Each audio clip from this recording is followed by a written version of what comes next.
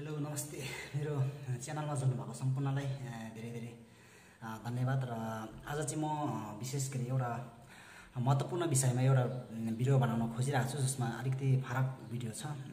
जुन विषय हामीले आफ्नो देशको कुरा आफ्नो जमिनको आफ्नो माटोको कुरा विषयमा छलफल भइरहेको छ र यस विषयमा हामीले नेपालमा धेरै चर्चा र नेपालमा विरोधहरू भइरहेको छ र यसको विषयमा मैले के उचित लाग्यो भन्दाखेरि इन्डियामा एउटा न्युज छ जुन इन्डियाको एउटा न्युजमा जुन त्यहाँको महत्त्वपूर्ण व्यक्तिहरूले जुन एउटा प्रतिक्रियाहरू दिएको जुन एउटा इन्टरभ्यूहरू लिएको एउटा च्यानलबाट मैले एउटा भिडियो हेर्न लागिरहेको छु र त्यो भिडियोलाई हामी हेरौँला। त्यसमा त्यस्तै तिनजना मान्छेहरू जस्तो छ। एकजना पूर्व राजदूतहरू त्यसपछि एउटा के त्यहाँको अडिटरहरू त्यसपछि त्यहाँको प्रोफेसर भन्नेहरू जुन यिनीहरूको भनाइहरू के रहेछ यो बुझ्नु एकदमै धेरै इम्पोर्टेन्ट लाग्छ। किनकि हामीले यिनीहरूको के सोच छ हाम्रो लागि र यिनीहरूको सोचाइमा के छ भन्ने कुरा बुझ्नु अत्यन्तै जरुरी देखिन्छ र त्यही कारणले मैले यो भिडियोहरू तपाईँ हामी सबैले हेरौँ भन्ने हिसाबले यदि हिन्दी बुझ्नु नबुझ्ने कोही हुनुहुन्छ भने म त्यसले नै भरे लास्टमा एक्सप्लेन गर्नेछु र सुनौ अहिले हामी यिनीहरूले के भन्दछ र यिनीहरूको सोचाइमा के छ? नेपाल कस्तो हिसाबले चाहिँ यिनीहरूले चाहिँ हस्तक्षेप गर्दै आइरहेको छ भन्ने कुरामा यो भिडियोलाई मैले किन बनाएको भन्दाखेरि मैले नेपालको विषयमा जुन इन्डियाले हेप्दै आइरहेको वर्षौँदेखिको जुन धेरै अ, अबरै भइसक्यो जुन हामीले जुन भित्रैबाट हाम्रो रागत्वतिर आइसकेको अवस्थामा जब हामीले जमिनको कुरा आउँछ यसमा हामी चुप लागेर बस्नु हुँदैन नै भन्ने कुरामा मैले हामी विदेशमा रहे पनि कसरी विरोध गर्ने भन्ने विषयमा चाहिँ एउटा छलफल गर्ने विषयमा मैले यो भिडियोलाई तयार पार्न खोजेँ हो र यहाँहरू सबैले भिडियो हेरौँ र प्रतिक्रिया दिउँ र हामीले के गर्नुपर्ने छ भन्ने विषयमा छलफल गरेर तपाईँ हामी सबैजनाले सही गरिदिउँ। सो भिडियोलाई म अन गर्नेछु। वान टू थ्री कालापानी पर इंडो तिब्बतन बॉर्डर पुलिस की पहरेदारी है। समझेंगे इस पूरे मसले को नेपाल का ऑब्जेक्शन क्या है? और असल में सामरिक लिहाज से कितना महत्वपूर्ण है? और पुराने दस्तावेज़ समझौते वो क्या इशारा करते हैं? हमारे साथ तीन बेहद खास मेहमान स्टूडियो में हैं। श्रीकांत शर्मा सर हमारे साथ हैं। फॉर्मर मिनिस्टर सर, बहुत बहुत स्वागत आपका। हमारे साथ केवी प्रसाद साहब हैं senior associate editor the Tribune से आपका स्वागत है सर और प्रोफेसर हर्षदी पंत हैं डिस्टिंग्विश फेलो वारफ से आपका भी बहुत बहुत स्वागत है। शिवाद शिव सर आपसे करना चाहूँगा। कि असल में काला पानी इतनी में क्यों? और जिस तरीके से इसको लेकर भारत ने साफ़ किया कि हम बातचीत, नेपाल ने कहा कि बातचीत करने को भी तैयार है और भारत ने उसमें साफ़ किया कि जो नक्शा है, वो वही नक्शा उसमें किसी तरह का कोई फेरबदल नहीं किया गया, जो इससे पहले हुआ था। हालाँकि परसिवन का काम जारी है। ये भारत, नेपाल के संबंधों में सीमा का लाना और इस तरीके से लाना नेपाल की तरफ़ से ये कोई नई बात नहीं है। नेपाल की जो वैली की पॉलिटिक्स है, उसमें छोटी छोटी बात को बड़ा करके बढ़ाना और उसको लेके फिर उसका एक तरह का डम्फान बनाना, ये पहले से भी होता रहा है। और भारत की तरफ़ से इन सब चीज़ों डील करने का तरीका यही है कि उसको शांत करें। क्योंकि भारत का अंततः नेपाल के साथ जो संबंध है, वो बड़ा गहरा है, मित्रतापूर्ण है और उसमें कोई प्रॉब्लम नहीं है। तो जो लोग प्रॉब्लम फेंकते हैं उनको भारत का जवाब यही है कि भाई हम बातचीत कर लेंगे। ऐसे इसके साथ आप ये सामरिक बात है वो जो नेपाल और भारत की ट्रीटी है उसको लेके जा गाहे बगाहे वो उठा देते हैं। और भारत ने हमेशा से कहा "अच्छा, चलिए बात कर लेते हैं। पर वो इतने बार भी हुआ कभी बात करने बात नहीं होती। उसको कोई दो हज़ार तीन में एजेंडा में डाल दिया लेकिन फिर बात नहीं की। तो ये उनका एक तरीका है कहने का चीज़ों का। और उसको तूल देना एक हद के बाद ये सही है कि नहीं, ये बात सोचने की है? क्योंकि अब जैसे ये सीमा जो है, इसमें 98 परसेंट की जो सीमा जो है, वो तो बिल्कुल रिजॉल्व है और पिलर्स बनाए जा रहे हैं मतलब कंस्ट्रक्शन चल रहा है। तो उस सीमा को लेके ये टेरिटोरियल जो नेशनलिज्म है, जो है ना, सीमा का एक राष्ट्रवाद, वो भारत और नेपाल के बीच में बिल्कुल बेमानी है। यहाँ छह से आठ मिलियन नेपाली भारत में रहते हैं आते हैं फ्रीली आते जाते हैं। जिन्होंने सदियों से कभी बीच में इन सब चीज़ों को कभी ध्यान नहीं दिया। तो ये तो ये पॉलिटिकल बाउंड्री बना दी और पॉलिटिकल मैप को लेके हल्ला करना ये बिल्कुल बेमानी चीज़ है। पर इसको इसको ऐसा कहने से वो बुरा मान जाएँगे। तो बेहतर ये है कि हाँ चलिए बात कर लेते हैं। और बात ऐसी कि भाई हम और आप तो दोस्त हैं जो भी परेशानी होगी, अब चलिए मिलकर बात कर लें। और फिर भारत का जो स्टेटमेंट है, वो ये है कि भाई, जो कुछ बताया है, वो पहले से था ऐसा। मतलब जो नक्शा दिखाया गया है, उसमें कोई फेरबदल नहीं है। पहले था, वैसे ही है। तो ये बात साफ़ है कि जो स्थिति है, यथास्थिति है, इसको लेके, बात को उभारना तो ये तो नेपाल की तरफ़ से ही मतलब उनकी जो राजनीतिक लोग हैं जो वो कर रहे हैं और जो उनके सुप्रीम कोर्ट ने जो मांगा है अब देखिए पंद्रह दिन तक इंतज़ार करते हैं वो कहाँ से लाएँगे, ये भी देख लें। क्योंकि वो जो पुराने मैप हैं, फिर अगर आप मुद्दे पे आए तो जो कार्टोग्राफी उस जमाने में थी, अठारह, सोलह, आज से दो सौ साल पहले की बात है, तब तो आज की स्थिति नहीं थी। वो कार्टोग्राफी भी बड़ी अप्रोक्सीमेट टाइप होती थी। और उसमें फिर जो सीमा होती थी, उसका वो रिवर के ऊपर होती थी कि कोई परमानेंट सीमा होती थी ये सब बात मुद्दे थे। तो अंग्रेज़ों के साथ उन्होंने जो कुछ किया वही हमने फॉलो किया। उन्नीस सौ साठ में वो मान लिया गया फिर से। तो इस सबको देखते हुए मुझे नहीं लगता कि हमारी सीमा पे कोई विवाद है। एक एक समझ लीजिए विचार विमर्श की बात है एक डिफरेंस ऑफ़ ओपिनियन हो सकता है। तो उसको सॉल्व करने के लिए आप बैठिए बात कर लीजिए। और भारत की तरफ़ से हमेशा ये तैयारी है कि भाई हम तो आपके साथ हर चीज़ के लिए मिलने को तैयार है, बातचीत करने को तैयार लेकिन प्रसाद सर सवाल उठता है कि अचानक ये मसला क्यों? क्या ऐसा नया हो गया? कोई नया नक्शा आ गया? या कुछ लोग ये कहते हैं कि जब नदी आधार बनी 1816 में, उस नदी का जो तरीका, मैं कहूँ कि इसका फ्लो था, वो बदला उसके बदलने के साथ साथ क्या कोई ऐसा नक्शा बदला, इसके चलते नेपाल को लगा? या कुछ लोग ये भी कहते हैं कि इसमें चाइना एंगल काफ़ी ज़्यादा है इस वक्त। ये सब कुछ मुमकिन है।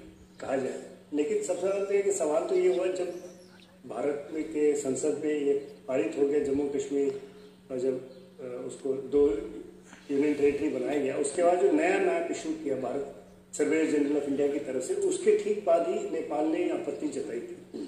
और ये बात तो ज़रूर है कि तो मालूम ही है कि पिछले कुछ पाँच छः सात साल से चीन की तरफ़ जो ज़्यादा मैत्री के कदम बढ़े हैं नेपाल नेपाल का झुकाव नेपाल का झुकाव बढ़ा है। वो एक भारत के लिए तो एक दृष्टिकोण है ही वो उसको आप नकार नहीं सकते।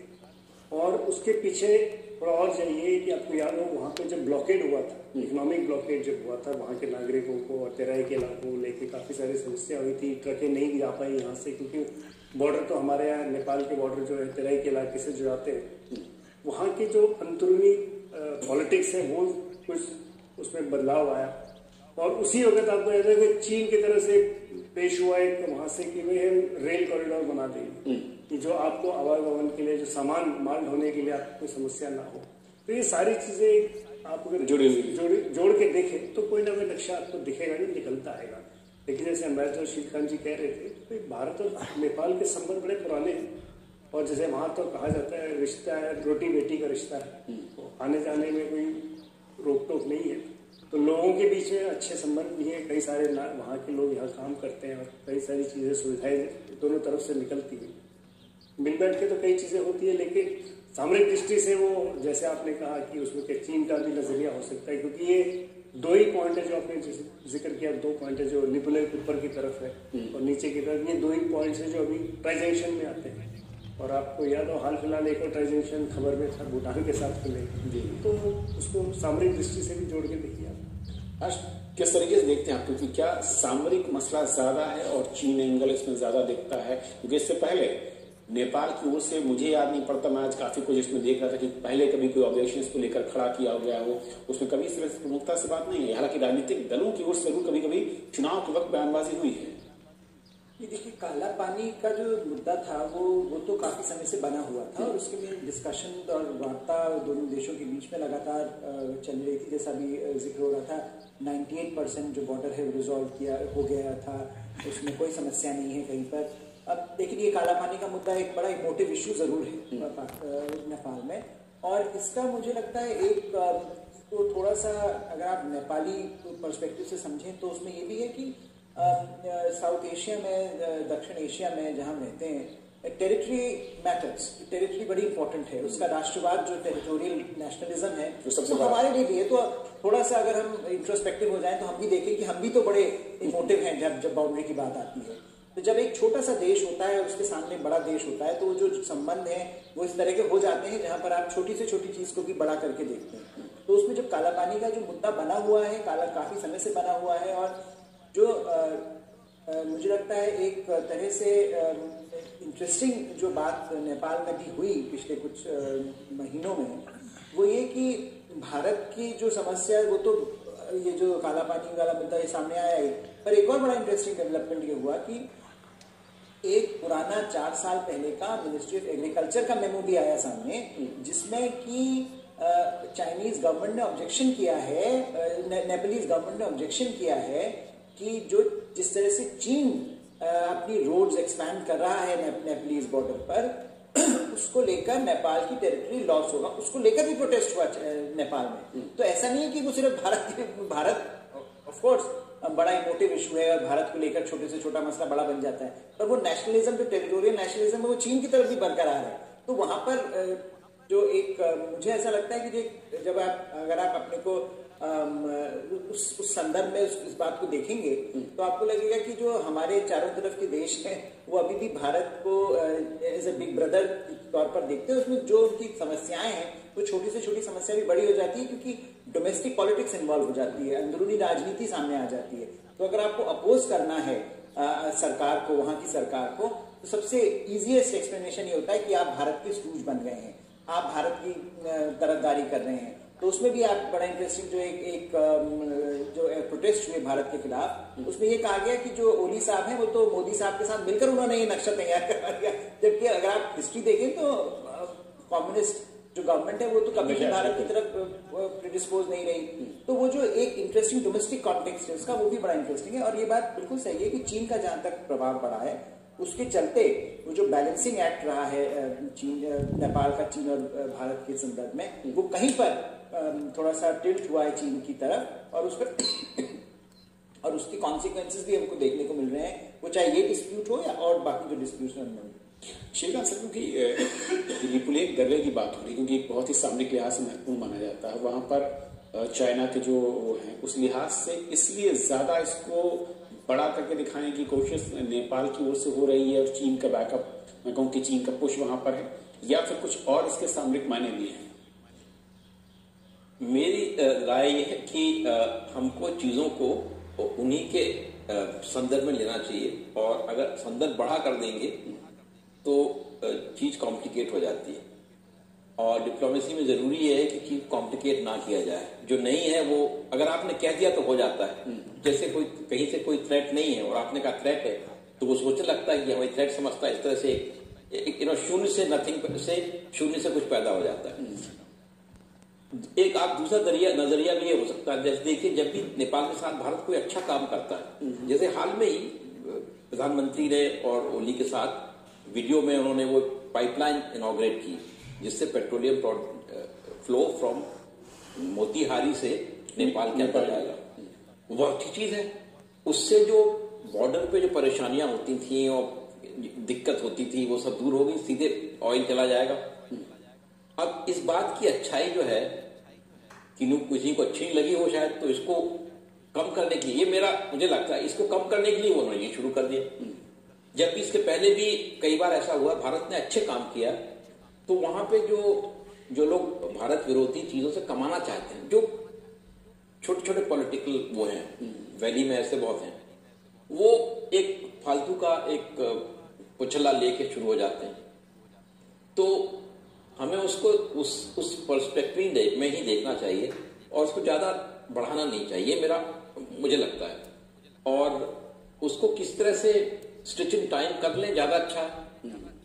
और फिर जहाँ सवाल सामरिक का और ट्राइजेंशन का तो उसमें तो भारत का शुरू से यह है कि हम बातचीत करने में तैयार हैं। पर उनकी तरफ़ से कोई बातचीत करने की तैयारी तो हो, उनके यहाँ जो जो पॉलिटिकल सिस्टम चल रहा है, उसमें ओली, प्रचंडा इनके बीच में ही अभी कभी कुछ होता है, कभी कुछ होता है। ओली साहब की सेहत भी जो है, वो थोड़ी सी ढुलमुल रहती है। तो नेपाल में जो कोलिशन इस समय रूल कर रहा है उसकी भी अपनी आंतरिक परेशानियाँ हैं। उसमें इस बात पे विवाद कर इस बात पे बातचीत तो अलग उसका विवाद का फ़ायदा उठाने की बात है। बातचीत करना अलग होती है। बातचीत करने के लिए आपके पास जो जो जो केंद्र है जो सरकार है उसके पास कोई कंसोलिडेशन होना चाहिए तब आप बातचीत कर सकते हैं। वो तो थोड़ा बिखराव सा है। तो ऐसी बिखराव की स्थिति में वो इस, इस मुद्दे को जो जो तूल दे रहे हैं। उसमें ये नहीं लगता कि बातचीत करना चाहते हैं। और हमारी पुरानी हिस्ट्री जो है, जब भी हमने बातचीत करने के लिए कहा किसी बात पे तो फिर बात नहीं होती कई बार एजेंडे बनाने में चर्चा ली है तो सर तो क्या नेपाल में सुप्रीम कोर्ट का इस पर आ जाना क्योंकि वहाँ पर कई सारी डिटेल्स कराई उसके बाद सरकार, जो कि कोलिशन सरकार है अलग अलग दबावों से घिरी हुई है। उसके पास विकल्प के तौर पर जो कमेटी है और सीमा विवाद, जैसे कि समिति काफ़ी, मैं कहूँगी कि नब्बे से ऊपर सॉल्व हो चुका हल किया जा चुका है सरकार को किस तरीके से आगे बढ़कर इस मसले पर भी दोनों देशों की ओर से इसमें हल निकालने को देखिए, पहली बात तो वहाँ की सर्वोच्च न्यायालय अगर वो कुछ चाहती है, कुछ चीज़ आगे रखा जाए तो एक प्रक्रिया है, उनके लिए तो भी है उनके उनके आगे कोई गया कोर्ट के आगे कोई समझ कोर्ट का दरवाज़ा खटखटाया किसी वकील ने ज़मीन मुद्दे ने अब उसके पीछे कोई राजनीतिक पार्टी है नहीं है दूसरी बात है। तो सवाल ये कि कोर्ट के पास गया कोर्ट ने अपना जो भी कहना था, कह दिया। सरकार की क्या मंशा रहेगी सरकार चाहती है कि जो चीज़ जिसको कह रही कि विवादित अगर ये विवादित है और भारत की तरफ़ से पेशकश होती है, उन्होंने जैसे कहा भी परिसीमन हुआ नहीं, जैसे कल भी हमारे विदेश मंत्रालय का वो बयान आया। शायद विदेश सचिव लेवल की बात वहाँ से उठी है कि भाई विदेश सचिव लेवल की आपसी में बातचीत हो तो बातचीत के बाद तो रास्ता निकलेगा। लेकिन जैसे मैं श्रीकांत जी कह रहे थे, अगर आप बैठना ही नहीं चाहते बात करने के लिए, सिर्फ़ बात करने की बात करते रहे तो फिर तो आगे फिर उसमें फिर राजनीति ज़्यादा हो जाएगी। कार्य जो होना है वो नहीं होता ये तो है नहीं कि भारत के वजह से मुद्दा समझाने की कोई उसमें नियत ऐसा नहीं है। जब वो नहीं है, फिर आगे रास्ता है तो खुद ही ढूंढना पड़ेगा। क्योंकि जिस तरीके से मैं देखा था उत्तराखंड का जो बॉर्डर है, जो नेपाल के साथ जहाँ पर खास तौर दिखता है ये, वहाँ पर सबसे बड़ा एरिया है जहाँ पर अभी भी सेटलमेंट नहीं हुआ बॉर्डर क्या जो दोनों हमारे पैनलिस्ट कर रहे हैं, आप सहमत हैं कि बातचीत हो, ये शोर तो मचाया जाता है नेपाल की ओर से, लेकिन बातचीत की टेबल पर उस पर चर्चा नहीं होती है। कोई खास मकसद सिर्फ़ पानी मुद्दा उछालना है, और वो टेरिटरी जो है, वो मैं कहूँ कि बेहद अहम है, भारत के लिहाज से नेपाल के लिहाज से डिप्लोमेसी में तो आप लेवरेज जो होता है, वो रखना चाहते हैं अपने साथ। तो कभी भी आप परेशानी आप इसको उछाल दीजिए तो वो मुद्दा डोमिनेट करता है डिस्कशन को तो अभी जैसे आप इसको एज ए स्ट्रेटेजिक लेवरेज आप यूज़ करके क्या भारत से लेना चाह रहे हैं? सवाल ये है। तो कहीं पर ये क्या मंशा है इसको रिजॉल्व करना है या इसको इसी तरह लटका कर रखना है जिससे इसका उपयोग बार बार किया जा सके? ये सवाल नेपाल को को समझना चाहिए। कि इसके बदले में कहीं कुछ नेगोशिएशंस की हाँ क्योंकि आपके पास काफ़ी सारे ऐसे मुद्दे हैं जहाँ पर आपको नेगोशिएट नेगोशिएट करना है। तो भारत और नेपाल के संबंध में काफ़ी ऐसी चीज़ें हैं छोटी छोटी जिसमें कि हमारा डिस्कशन चलता रहता है। जैसे बॉर्डर पे ट्रेड कैसे होगा? अभी जैसे डिस्कशन हो रहा था कि आपने ऑयल फ्लोज दिए हैं। उसके बाद आप डिपेंडेंसी आपको किस तरह से रिजॉल्व करनी है?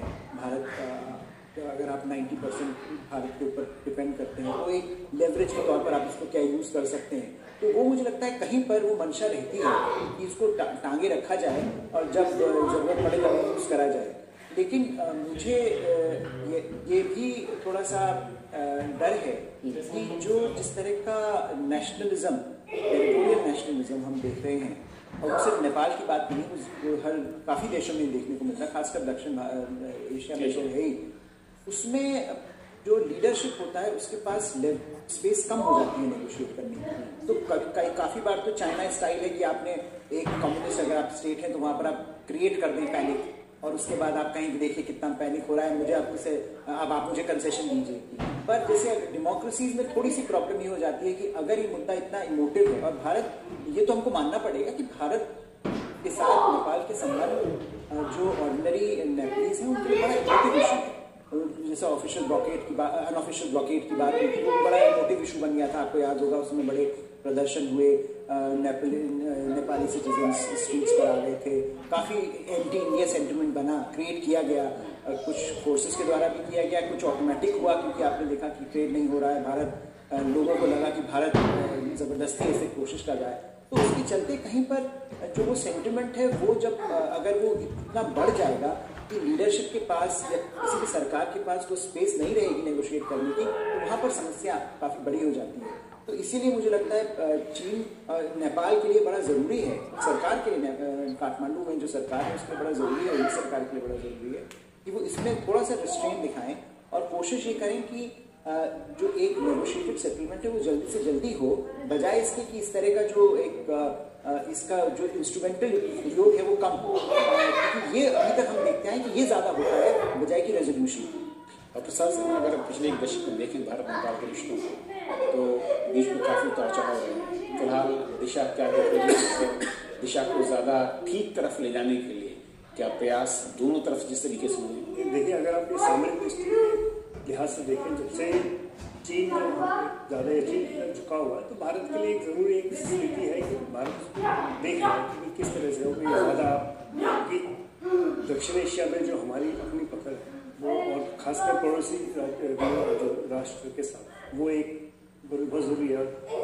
बाकी और देखिए, ट्रेड, व्यापार में देखिए, दस अभी आंकड़े देख रहा था कि दस साल में अगर कहते हैं कि बायलेटरल ट्रेड पे पचपन हज़ार था दो हज़ार छः सात में। वो बढ़ के चालीस हज़ार करोड़ के आसपास।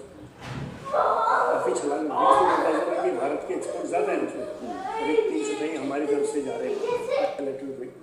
लेकिन साथ ही साथ वहाँ के हम बच्चों को सुविधाएँ देते हैं। यहाँ के स्कॉलरशिप पे पी और हायर लेवल पे आगे बढ़ाते हैं। हमने हाल फ़िलहाल में एग्रीकल्चर को लेकर एक नया पैक्ट हुआ है। विशेष कृषि संबंधी।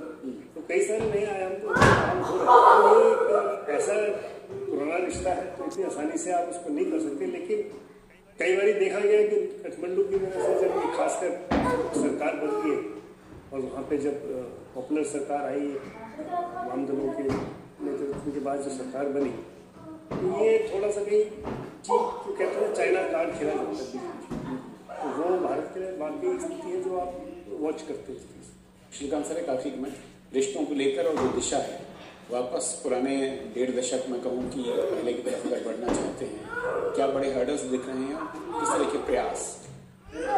मेरी समझ में तो हर्डल्स की जो वास्तविकता है वो एक तरफ़ है और उसको जो बढ़ा चढ़ा के देखना है वो दूसरी तरफ़ है।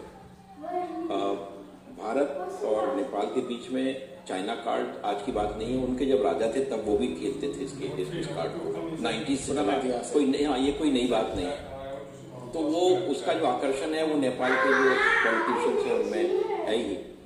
और अब वो कोयलाला जैसे कुछ टॉल लीडर्स थे, पहले वो अब चीज़ों को थोड़ा समझते थे। अब वो, उनका जो लीडरशिप है वो एक दूसरे लेवल की है तो वो वो उछल के भागते हैं छोटी छोटी चीज़ को लेके।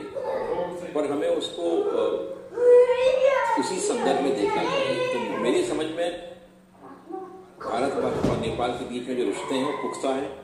उनके जैसा बताया प्रसाद जी ने कि वो कई कई स्ट्रीम्स हैं जिसमें काम आगे बढ़ रहा है तो उनको बढ़ाते रहना चाहिए। और उसको ज़्यादा सामरिक वज़न से दबाना नहीं चाहिए। मुझे लगता है ये ये सामरिक जो है, सामरिकता ठीक है वेरी वेरी वेल पर वो, आप अगर नेपाल के साथ और मालदीव के साथ भी सामरिकता लगाने लगेंगे तो वो पूरा पूरा जो जो परिदृश्य है वो एकदम से धूमिल हो जाएगा ज़्यादा क्लिष्ट हो जाएगा बहुत शुक्रिया आप मेहमानों का हमारे साथ चर्चा में शामिल होने के लिए समझाने के लिए कि भारत और नेपाल के बीच जो कालापानी बॉर्डर को ले गाइस तपाईँ हेरिसक्नुभयो यो भिडियोलाई होइन त्यसमा यो भिडियो हेर्दाखेरि एक प्रकारको रिस ब्लड ततेर सबैले आउँछ कि यिनीहरूले भनिरहेछ कि कुनै यस्तो इस्यु नै छैन भन्ने नै भनिरहेछ यो एउटा अर्को जुन पूर्व राजदूत भन्ने छ यसको कुरा गर्ने तरिका कस्तो छ हेर्नुहोस् तपाईँले हेर्नुभयो होइन। जुन खालको कुनै इस्यु नै छैन यो कसैले उक्साएको कुरा हो भन्ने खालको कुरा नै यहाँ छ र अर्को कुरा यसले बार बार के बिचमा ल्याइरहेछ भने नेपालीहरू इन्डियामा सजिलैसँग काम गरिरहेछ सात आठजना आठ लाख मान्छे चाहिँ जब गरिरहेछ भन्ने कुराहरू निकाल्ने जस्तो। त्यस्तै त्यस्तै अब बिचमा के के इस्यु निकाल्ने जस्तो यस्तो कुराहरू गर्दाखेरि एकदम ब्लड ततेर आउँछ। मेरो चाहिँ एउटा भनाइ के छ भनेदेखि हामी नेपालीहरू जति नै छ जति नै दुःख भए पनि बरु अन्य देशमा गएर काम गरौँला या त नेपालमै केही गरौँला तर भारतमा गएर काम नगरौँला। तपाईँले यो भूकम्पको बेलामा जस्तै यो दुई हजार पन्ध्रको जुन इकोनोमिकल जुन ब्लकेट यिनीहरूको जुन छ त्यो पनि यिनीहरूले आफूले गरेको भन्ने कुरा एउटा च्यानलमा स्वीकारिसकेको छ। यो एकदमै अहिले हेर्दाखेरि यिनीहरू एकदमै धेरै हामीलाई हेप्नु एकदम धेरै बढी भइसकेको अवस्थामा जुन केही पनि नगरे जस्तो केही पनि नभएको जस्तो एक्टिङ गरेर बोल्छ यिनीहरू। यो अवस्थामा चाहिँ हामीले यसमा चाहिँ जुन यो प्रोफेसरको जुन कुरा थियो यो एउटा जुन उसको कुरा चाहिँ एउटा अलिकति ठिकै होला जस्तो लाग्यो मलाई। त्यही पनि यिनीहरूले जुन खालको कुरा एकदमै गलत चाहिँ के गर्यो भनेदेखि नेपाल कुनै हालतमा मिचेको छैन भन्ने जुन खालको यिनीहरूको धारणा छ। त्यसमा चाहिँ हामीले कसरी जानेर के गर्ने भन्ने विषयमा चाहिँ जुन त्यहाँको जुन केसहरू चाहिँ हामी कसरी जानेर कुन हिसाबले यिनीहरूलाई हामीले जमिन फिर्ता लिने भन्ने विषयमा चाहिँ हामीले कसरी गर्ने भन्ने विषयमा हामी सोच्नै पर्ने एकदमै जरुरी छ। यिनीहरूले के भन्छ र के यिनीहरूसँग नि हामी एकदम नजर राख्नुपर्ने जरुरी देखिन्छ। सो गाइज हामीले यस्तै भिडियोहरू हेर्दै गर्नेछौँ र तपाईँ पनि प्रतिक्रिया दिनुहोस् होइन तपाईँलाई के लाग्यो? यदि यो इन्डियाले हामीलाई हेपेकै हो भनेदेखि यसको लागि हामीले के गर्नुपर्ने हुन्छ? अर्को कुरा जुन नेपालमा अहिले हलचलै ज्ञानेन्द्र सहीले जुन एउटा हिजो एउटा अभियान सुरु गरेको भने मैले एउटा न्युजबाट हेरेको छु र त्यसमा चाहिँ उसले भनेको छ इन्डियाको खिलाफ अब हामीले कोरोनाको कारणले गर्दा जुन बाहिर रोडमा गएर आन्दोलन गर्नु नपाए पनि जुन खालको एउटा ब्ल्याक आउट भन्ने जुन एउटा यिनीहरूले अभियान स्टार्ट थालेको छ एउटा आइडिया निकालेको छ यसलाई चाहिँ हामीले हरेक हप्ताको जुन चार तारिक यो चार तारिकदेखि चार गते बेलुका राति आठ बजीदेखि जुन एउटा हरेक घरमा चाहिँ बत्ती निभाएर जुन एउटा आन्दोलन गर्ने जुन एउटा विश्वभरि सबैले देखाउने तरिकाको जुन एउटा आइडिया जुन गरेको छ यसलाई मलाई एकदम सही लाग्यो यो एकदम समर्थन छु म यसमा र आफन्तहरूले म भन्नेछु र तपाईँ हामीले सबैले यसलाई समर्थन दिएर कसरी हुन्छ भारतको जुन दादागिरीलाई हामीले विश्वमा देखाउनुपर्छ र यसलाई हामीले योबाट हामी मुक्ति भएर बस्नुपर्छ यसको लागि यो भिडियोलाई सेयर गरिदिनुहोस् र हामीले सक्दो सकेको हामी आफैले आफ्नो ठाउँबाट गर्नेछौँ। र आफ्नो देशमा हुनेहरूले सबैजनाले जुन कुन प्रकारबाट कसरी हुन्छ त्यो सक्दो सपोर्ट आफ्नो देशको लागि गर्नुपर्ने हुन्छ भन्ने मलाई आशा छ र गर्नु सक्छ भन्ने कुरा हामीले जहाँसम्म विश्वास छ। यति भन्दै म बिदा हुन चाहन्छु र सबैजनाले आफ्नो ख्याल गर्न र सुरक्षितसँग बस्न पनि मेरो एकदमै धेरै यहाँलाई म रिक्वेस्ट गर्न चाहन्छु। Bye bye day.